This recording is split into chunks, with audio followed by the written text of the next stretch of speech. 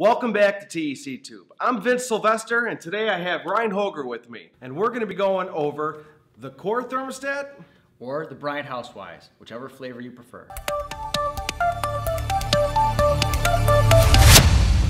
So here we are at the wall. We have the back plate mounted already on the wall. Um, and we already have the wires terminated. If you're not sure how to do that, refer back to one of our previous videos on how to wire a basic thermostat. Uh, this one's nice because it's got the level in there, so we did a good job keeping this thing flush. We'll put the thermostat on now. It'll give a second, it'll power up, either with a carrier or Bryant logo, depending on which version you are installing. Alright, so here we are at the first screen where it says welcome to the setup. It also refers you to the website where you can set things up online later. In this case, bryant.com slash myhome, or in the other case, it'd be carrier.com slash myhome. I'm gonna hit next, and to give me a checklist of all the things that we're actually gonna work on. Equipment configuration, preferences, our network connection, and then actually linking, linking it up to the web portal and the apps. So I'll press next.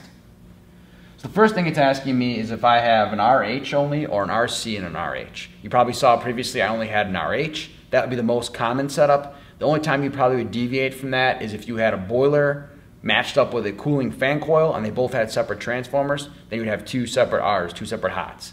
But for normal systems, furnace and AC, RH only. So it's already correct there.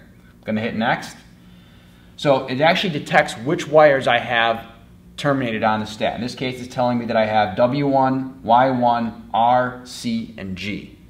If that's not correct, that probably means I did not wire something correctly or one of the wires is not seated properly under the terminal and I want to take it back off the wall and fix that. In some cases, you may need to override this and manually select the wiring that you have.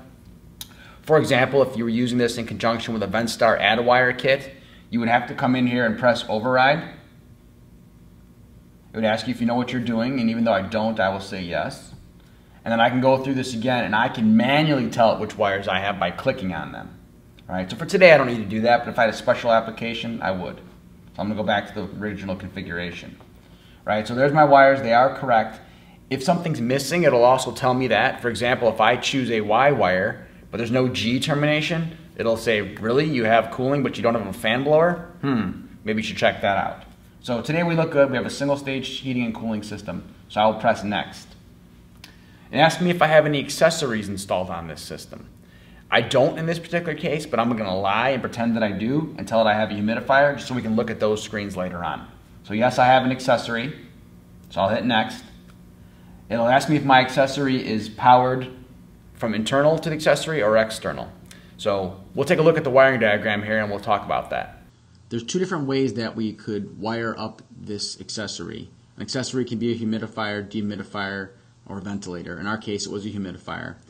And the choices on how I'm going to wire it depend on whether the power for the humidifier is coming from a transformer internal to the humidifier or whether the power is coming from the transformer inside the furnace. In this particular example on the screen that I'm showing right now, you can see over here on the accessory device, humidifier in our case, the 24 volt transformer is inside the humidifier and there's a separate 24 volt transformer at the furnace. For that particular wiring configuration, I need to pull two wires from the humidifier back to the thermostat itself, and I will terminate them on ACC plus and ACC minus, and then this relay inside the thermostat becomes a dry contact, simply making the electrical connection for that 24 volts. On the thermostat, I will answer the question on the left-hand side here with a no. Is the accessory control power the same as the thermostat? No, it is not. It has its own transformer, so I'll click no, and then I'll hit next. The second wiring choice would be for a humidifier or other accessory device that does not have its own 24 volt control circuit. Therefore, it needs 24 volts from the furnace itself. Even then, there's still two different ways we could wire that. The first of which we're showing right here. Um, from the humidifier, we can have two wires leaving and coming back to the thermostat. In that case, we'll wire to ACC plus again but instead of wiring to ACC minus, we'll go to the common instead. That'll allow 24 volts to flow from the furnace through the thermostat, through the humidifier circuit, and back to the thermostat. So we can do it that way, and in that case we would answer yes to this question, is the accessory control power the same as the thermostat? Alternately, if we want, we don't have to run two wires from the humidifier back to the thermostat. We could just run the ACC plus back to the thermostat, and then for the common side of the humidifier, we could go to the common on the furnace circuit board. since that common is already tied to the common on the thermostat anyway. So I could basically pull one wire to the thermostat instead of two, even though this particular drawing shows two. So for today's purposes, it doesn't matter which one I pick because I don't have an actual humidifier, but you get the idea. So today I'll pick yes, hit next. It'll ask me if I have a humidifier, a dehumidifier, or a ventilator system. In my case, I'll pick humidifier. I'll hit next. So it gives me a little confirmation of what I have. In this case, single stage heat, single stage furnace, and a humidifier. So I'll press next. Um, then it'll ask me for the next step here um, to go into the preference settings. Press next. What do you want to call the thermostat? Generally, you just leave it at my home and that's totally fine. Or you can custom name it, right? So I can scroll down here and pick one of these other names.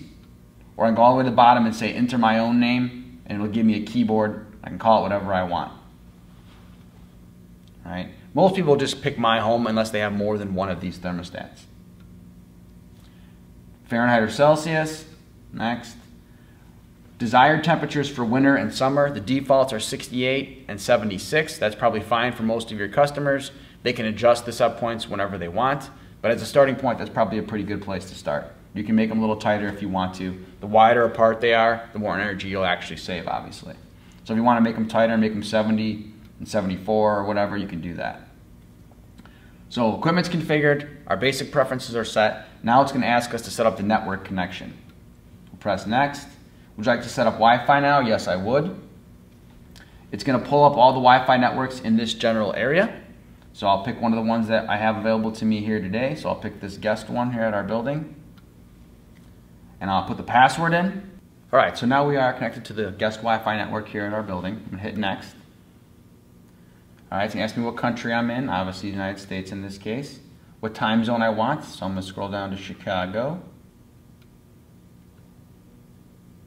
Hit next. Now it'll automatically do the time for me. I don't have to set the clock. It's on Wi-Fi. It knows my time zone. It's good to go. Daylight savings automatic and all that stuff.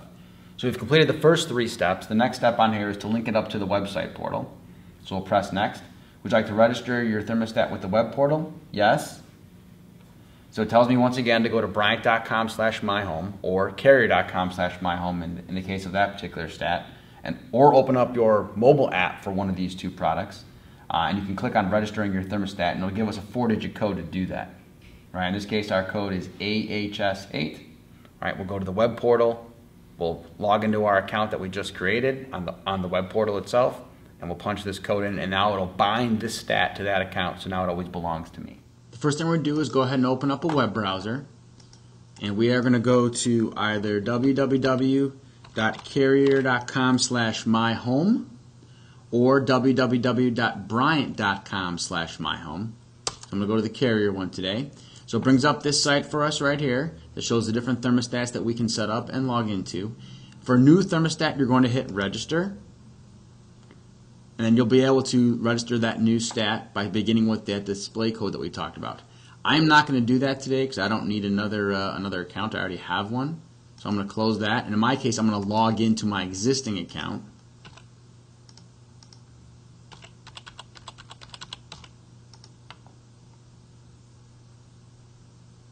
I'm logged into that particular account and then I'm going to go ahead and click on the menu over here and uh, add a thermostat to my existing account. And then I'm back to the same screen you just saw. So in there I will put the four digit code and say next. Um, would you like to set up the uh, weather data? And I would say yes in this case. Want to find my location automatically? Sure. I don't know if I have GPS turned on, but it did. Okay, found that. So that's where I'm at physically at at our North Aurora building right now. So I'll hit next. Uh, I would like to add my home details. I will say yes to that. Um, now this is not a house in my case. It's just in, in our training lab. So I'm just going to make something up for right now. I'll just say it's a single floor, uh, simple condo building. You notice all the choices on here are residentially orientated. It does not have the ability to compare your energy usage to commercial buildings. Uh, this is a residential type thermostat, so it'll help you compare your energy usage for a house or condo of the same size and geographic location as yours. And I don't know the age of this building, so I'm just going to guess on it and I'll pick it for right now. I'll say next. My thermostat is now ready for access. Start using the web portal. Great, and now it's added to my list of thermostats here. And I can go ahead and close my web browser, and then I could head on over back to my thermostat and finish configuring that. So I'm going to hit next in this case, and then I'm going to hit next again. And it says completed my process. And I'm going to hit done. Right? Now we're back into the regular stat. Ryan, thank you so much for properly showing us how to install the Bryant Housewise stat and the Carrier Cor stat. Yeah, Vince, and there's actually a lot of advanced features in this stat as well, and in the next video we'll show you how to set those up. I can hardly wait. Me neither. Thanks again for showing up.